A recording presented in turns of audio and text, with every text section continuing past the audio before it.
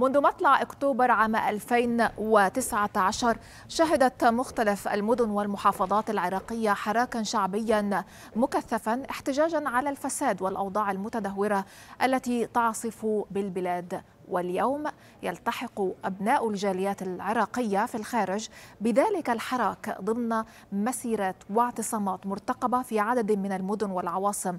الحراك الجديد لمغتربي العراق ينطلق تحت عنوان إنهاء الإفلات من العقاب ويستعد لحشد المتظاهرين في مدن أمريكية عدة بينها العاصمة واشنطن وفي ولايات ميشيغان وتكساس وكاليفورنيا أيضا أوتوا آه وأيضا في كندا كذلك في مدن وعواصم أوروبية بينها باريس وبروكسل وجنيف ولندن ولاهاي وكوبنهاجن وهلسنكي وأيضا في مدينة ملبورن في القارة الأسترالية.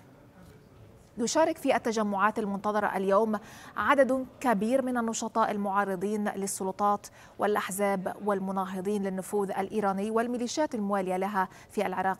هذه المسيرات المرتقبة هي الأولى من نوعها فيما يتعلق بجهة تعدد المدن واتساع الخريطة وأيضا الشعارات والمطالب المرفوعة. ووفقا للمراقبين فإن قوام هذه التجمعات المعارضة في الخارج يعتمد على الشباب والمهاجرين الجدد لا سيما الذين منعوا من العودة إلى بلادهم بسبب بطش الميليشيات.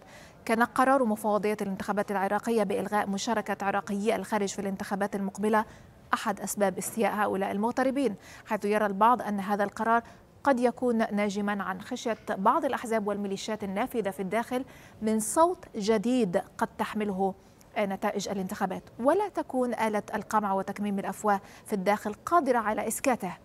أما الأسباب الرئيسية للمظاهرات لمظاهرات عراقيي الخارج اليوم فهي الإفلات من العقاب والاغتيالات والفساد إضافة إلى كارثة حريق مستشفى الناصرية الأخير.